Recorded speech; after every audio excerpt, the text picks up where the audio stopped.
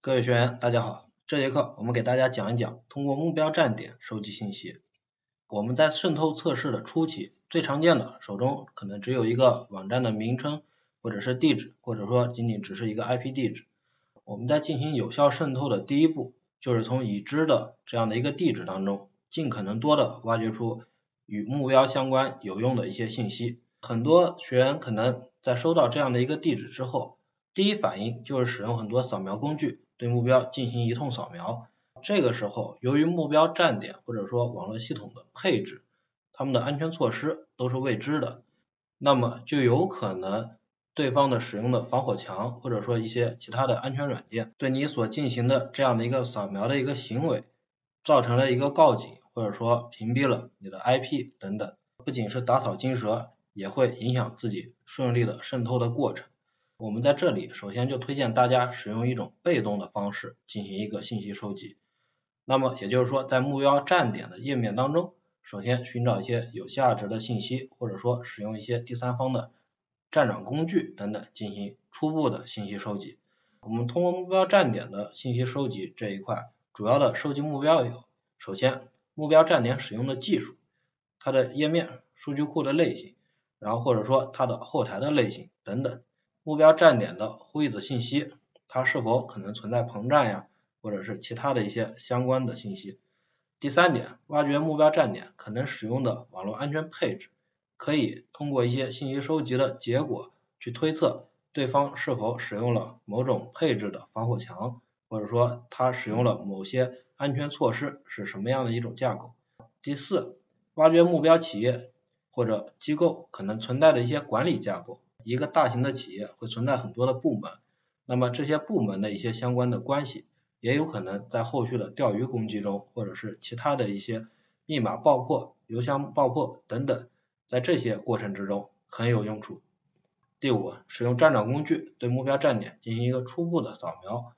那么很多站长工具也集成了一些端口扫描，或者说其他的是否被黑检测等等。我们可以使用第三方的站长工具，首先进行一个初步的扫描，查询一下 IP 啊等等这样的一些过程。第六点，其他与目标站点相关的信息，目标企业机构的网站是信息的一个重要的一个来源。我们拿到一个站点之后，首先应该登录这个网站去看一看相关的一些情况。做渗透第一步就是尽可能多的从这个目标的网站上搜集一些信息，网站的内容。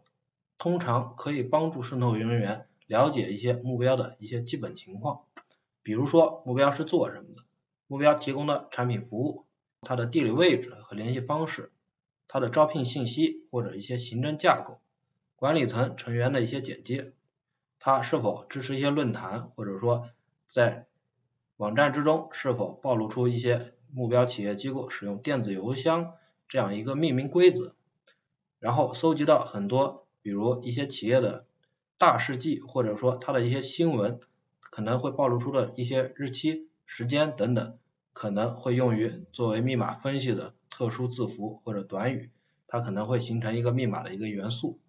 我们在这里啊，随机选择的一个企业网站，简单的讲解一下通过目标站点收集信息的一个简要的一个方法。我们在这里特别说明。这是由于课程演示的需要，请不要非法测试这些站点。好的，我们打开了一个企业的一个网站，在上面有一些内容，会对大家后续的一些渗透可能会造成一定的帮助。目标网站上提供了一个目标企业的这样的一个部门架构图，大家看，我们在这里隐去了这样的一个企业的一个名称，可以看到有决策层。然后有管理层，有很多部门，比如综合管理部、科技管理部等等，有技术服务部，在下面有一些执行的层级，有一些比如子公司或者说一些分支的这样的一些机构。这个时候，我们就可以通过这样的一一一张图，去对目标的这样的一个部门架构产生一定的理解跟认知。我们打开另外一个网站，在它的网站上会有一些他们的产品服务的一些展示。大家可以看到，它的产品介绍有一些纤维或者说是其他的这样一个材料。我们在做渗透测试的时候，就有可能可以考虑冒充这样的一些原材料的提供商的名义，去给目标发送一些钓鱼邮件。那么这个时候就必须要提前了解到对方是做什么的。好的，我们再打开麦子学院的这样的一个联系我们这样的一个页面，大家看，首先我们就可以很直观的看到了这样的一个邮箱地址，我们就可能会知道，如果麦子学院内部的员工使用的都是这样麦子 edu 点 com 这样的一个地址的话，他们前面的这样命名就有可能是。员工的姓名再加上这样的一个地址的这样的一个邮箱构成，就有可能会推测到其他员工使用的这样的一个邮箱地址。我们在某个企业的企业邮箱登录处这样的一个页面上，我们就可以通过一定的观察，发现这样的一个企业的邮箱，它并没有设置一个验证码安全机制。那么如果是这样的一个邮箱，我们就可以考虑在获取了目标企业。某一个员工的邮箱名称之后，通过爆破密码的这样的一个方式，从这个网站上面直接去进入目标的一个员工邮箱。我们可能会在某企业的主页底部会发现这样的一些字符，我们通过这个字符就可以认为目标的这个站点使用的是一个知梦的后台。最后，我们可能会在目标企业的网站上找到一些招聘的信息。举一个简单的例子。如果说目标企业在招聘信息中贴出需要招聘一个网络管理人员，熟悉思科某种交换机或者是防火墙的这样的一个使用技能，我们就可以推测目标的网络系统可能使用了思科的某种防火墙或者是交换机这样的一个系统，在后续可能会进行内网渗透的这样的一个过程之中，我们就有了一定的信息的基础。下面我们来讲一讲使用站长工具对目标站点进行一个信息收集。使用站长工具通常会收集到如下几个方面的一些信息：一个 IP 的查询，第二同 IP 网站的查询，第三 Whois 信息查询，或者说利用 Whois 信息进行一个反查，第四子域名的一个查询，第五识别服务器类型、页面类型，第六 DNS 信息查询，第七网站安全检测。第八，端口扫描。我们现在打开站长工具这样一个网站，呃，我们打开一个站长工具的 IP 查询这样的一个页面，我们以麦子学院的地址作为一个查询的目标，点击查询。大家看，我们这个时候就可以把麦子学院的这样的一个地址的 IP 地址，我们可以获取到了，包括一个数字地址。IP 的物理位置，北京市阿里云 BGP 数据中心，我们可能就会考虑到它是租用的阿里云的服务器这样的一种网站的一个架构。我们再打开站长工具的一个子域名查询的这样的一个页面，我们可以查询一下百度。举一个例子，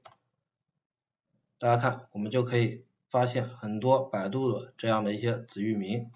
这个就是使用站长工具对目标进行一些相关信息的一些查询。